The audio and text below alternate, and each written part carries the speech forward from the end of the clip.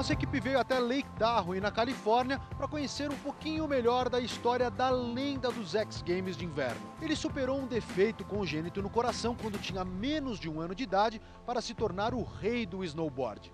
Se ainda não conhece, é bom guardar este nome: Shaun White.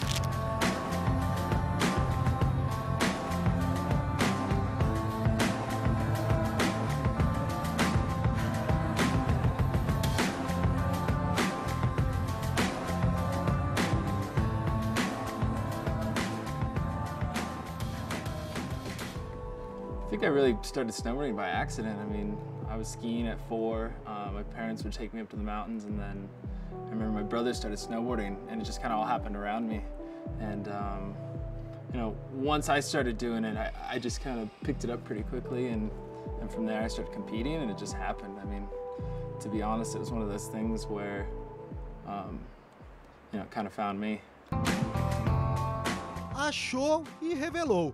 Aos 16 anos, faturou duas medalhas de prata em sua primeira participação no X Games. Nas duas edições seguintes, mais três ouros.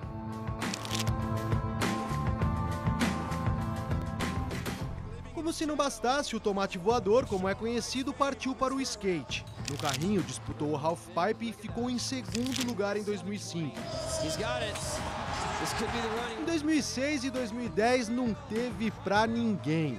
Levou o ouro no vertical.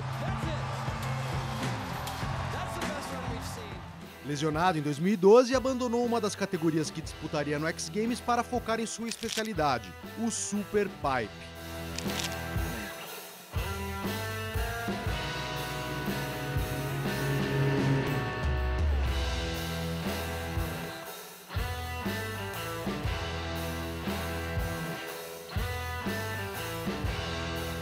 Foi justamente aqui no Super Pipe de Northstar que o americano Sean White treinou para conseguir a única nota 100 da história dos X Games. Sim, ele treinou aqui antes de 120 run. conseguir a nota Perfect 100. score, the Uma volta perfeita, a primeira na história do X Games. Nós ficamos muito orgulhosos por isso. We were very proud of him when he put that score up.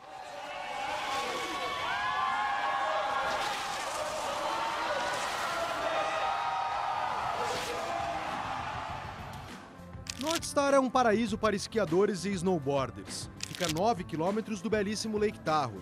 São 95 pistas espalhadas por 1.200 hectares. Essa estação conta com hotéis, lojas, restaurantes e até uma pista de patinação no gelo. It's always good. It's always got a great shape to it. And if it's not perfect, you can just mention it to the guys, and the next day it's done.